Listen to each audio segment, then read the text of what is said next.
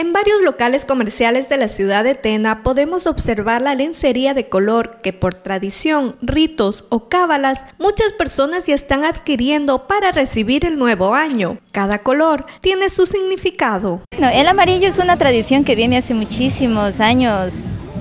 Eh, como que el significado es progreso. El rojo lo usan muchas personas para el amor. Si está medio escasito de amor, pues se pone un interior, un brasier rojo y con eso, o sea, lleno de amor.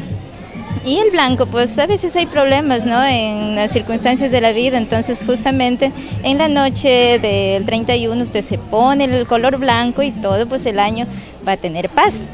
Estas tradiciones o cábalas son un conjunto de doctrinas que mediante el esoterismo y el cumplimiento de ciertos preceptos buscan concretar sus deseos.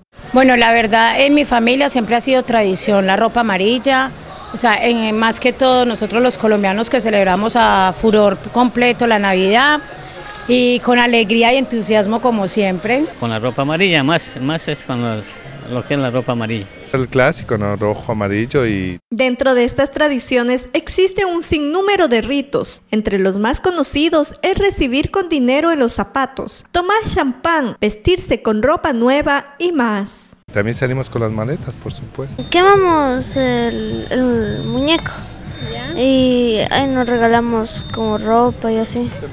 Eh, justamente estoy viendo ropa nueva para estar presentado el año nuevo, no, no, porque uno es adulto mayor, tenga que verdaderamente estar un poquito descachalanzado, no señor, estar a tono con, con el año nuevo. Todas estas interpretaciones místicas, unos lo practican, otros no, pero la verdad es que todo está en uno mismo, porque el querer es poder.